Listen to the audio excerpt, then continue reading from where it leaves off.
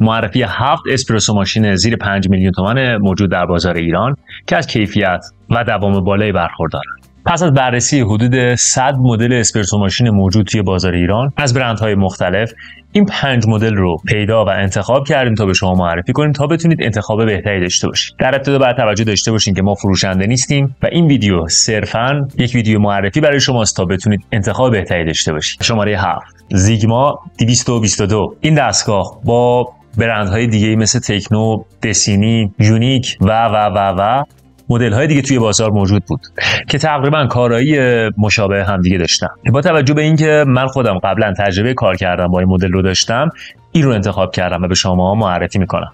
لازمه بدونید این دستگاه تکنولوژی خاصی نداره اما عموم افرادی که از این دستگاه استفاده کردن رضایت داشتن ازش. قیمت؟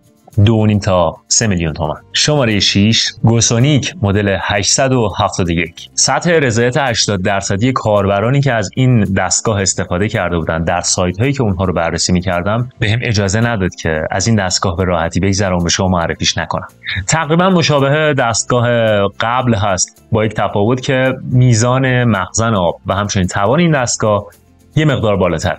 قیمت از 3 و 300 تا 3 میلیون و 700 هزار شماره 5 زیگما 850 از مدل های بسیار پر استفاده در مارکت ایران هست که من خودم هم تجربه کار کردم باهاش رو داشتم.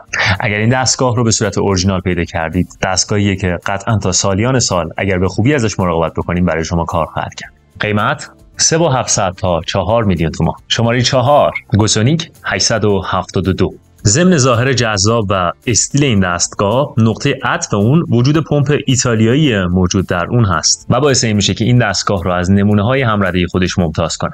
قیمت 4 تا 4 میلیون و 200 هزار تومان. شماره 3 نباشی 20 چهل. نگاه به ظاهر ساده این دستگاه نکنید. دستگاهی بسیار پرتوان و البته با تجربه. که قطعا نتیجه اعتماد شما رو به خوبی پاسخ خواهد قیمت 4400 الی 4 میلیون و 600 هزار تومان. شماره دو بارنی 7008 دستگاه در این رده کیفی و این قیمت زیاد وجود داشت و ما از بین مدل های زیادی مثل مباشی 2026 2025 نووا 153 حتی مدل جذاب 2032 این دستگاه رو برای معرفی به شما انتخاب کردیم این دستگاه در مقایسه با رقبای همرده خودش ضمن اینکه در بعضی از موارد از لحاظ کیفی بالاتره مثل حجم بیشتر مخزن همچنین از قیمت مناسبتری هم برخورداره. این دستگاه داره یک ظاهر جذاب مخزن آب 2.5 لیتری و توان بالاست.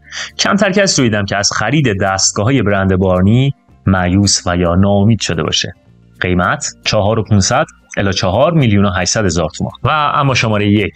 با انتخاب بارنی 7008 پیدا کردن شماره یک کار سختی شده بود و تقریبا تمام مدل های همرده خودش رو شکست می‌داد.